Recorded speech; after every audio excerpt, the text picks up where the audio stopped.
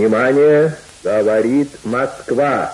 Заявление советского правительства. Сегодня, 22 июня, 4 часа утра, без объявления войны, германские войска напали на нашу страну. Именно эти слова 79 лет назад услышал каждый.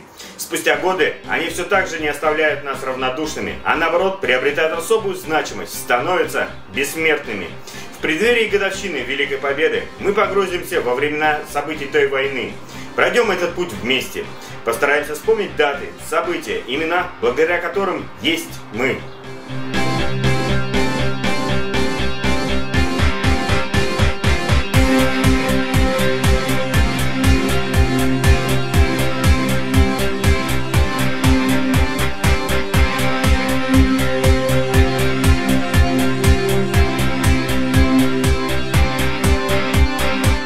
Как совершить исторический экскурс по датам и событиям Великой Отечественной войны? Погрузить сотрудников компании в ту эпоху, пройти путь воинской славы от обороны Бреста до Парада Победы, не выходя из дома. Молодежь профсоюзной организации Корпоративного института дала ответ на этот вопрос. С 7 по 9 мая 2020 года прошла интеллектуальная игра «Путь к победе». Организаторами Лиги интеллектуальных игр был выбран нестандартный формат – формат онлайн-конференции – Современная платформа позволила игрокам принять участие в игре в условиях самоизоляции, подключившись к игре с компьютера или смартфона. Это не август, это июль. Это июль. 42 год, да? 42 год, но я думаю, что это август. Ну, наш ответ 125 грамм. Итак, коллеги, 125 грамм выдавали в самые тяжелые периоды служащим и иждивенцам. Рабочие получали по 250 грамм. К сожалению, это неверный вариант ответа. Вопрос. Как называлась эта конференция? Три-четыре. Ялтинская.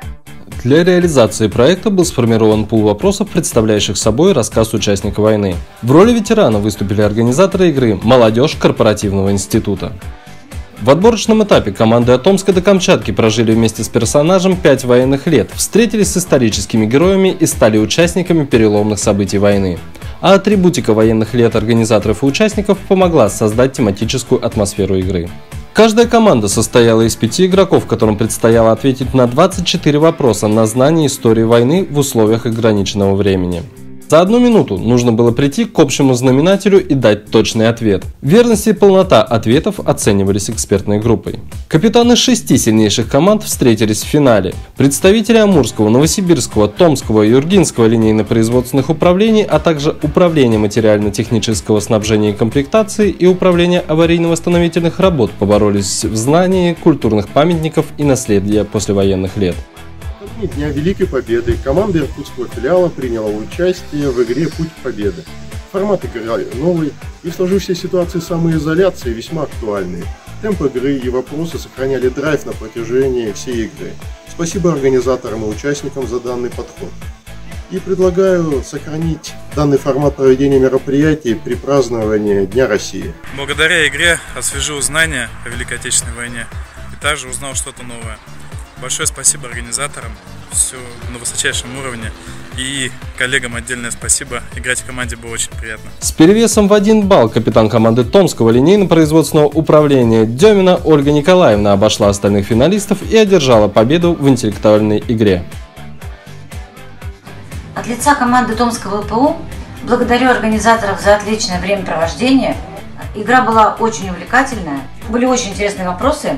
От себя лично спасибо за вопрос о Томске. Это было классно, патриотично. Выбранный уникальный формат проведения корпоративных соревнований и нестандартная для интеллектуальных игр форма подачи материала позволили участникам проникнуться истинным мужеством солдат и героическим подвигом советского народа. И на этом торжественном моменте мы заканчиваем игру. Спасибо за участие. С праздником, с Днем Великой Победы!